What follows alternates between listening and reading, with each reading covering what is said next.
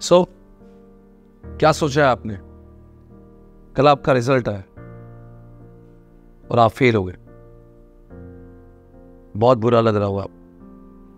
You must be disappointed आपका आपका खुद का अपने से भरोसा उठ चुका होगा। गाइस बात ऐसी नहीं है।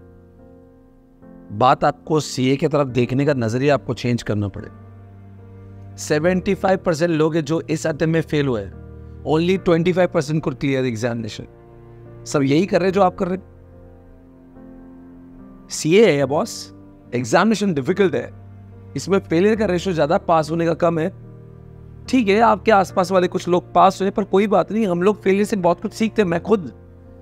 इंटर में दो बार फाउंडेशन में एक बार फेल हुआ हूँ। It's okay it does not mean you can not be successful relax हो जाएगा। इस बार हम लोग पढ़ाई करने के तरीकों को बदलेंगे। Will make sure will pass in this examination itself इस बार मैं आपके लिए तीन ऑप्शन लेकर आया हूँ। अगर आप इस बार पास नहीं हुए, आपको हमारे एक्सटेंडेड रिवीजन लेक्चर्स जिसको हम लोग ब्रह्मास्त्र बोलते हैं, जिसके अंदर कोई चेंजेस नहीं हुए प्रीवियस अटेम्प्ट से, वो आप वापस से देख के वापस से फिर से पढ़ाई चालू कर सकते हो। जहाँ पे आप पूरा का पूरा सिलेबस कम से कम समय में रिवाइज कर सकते हो।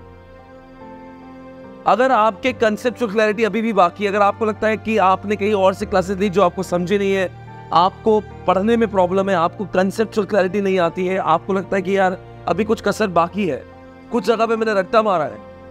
सो so, दोस्तों ये बात आप दिमाग में रख लीजिएगा।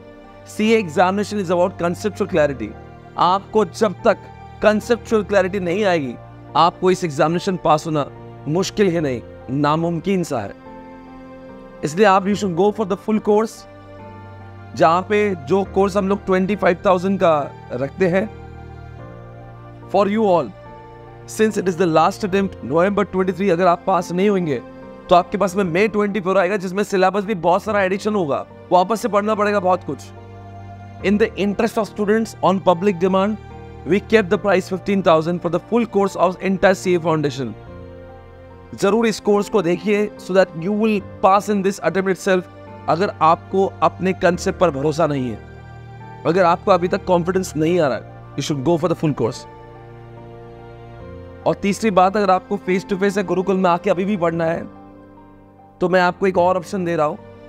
आप ब्लेंडेड बैच में आ सकते हो, जहाँ पे 50 परसेंट आप फेस टू फेस में क्लास करोगे, और फिर 50 परसेंट जो है आप रिकॉर्डेड मोड में करोगे। आप अगर गुरुकुल में भी आना चाहते हो तो 50 परसेंट आपको फेस टू फेस क्लास दिए जाएँगे। और 50 परसेंट जो पोर्शन है आपका, वो रिकॉर्डेड फॉर्मेट में आपको देखना होगा, वो गुरुकुल में रह के ही।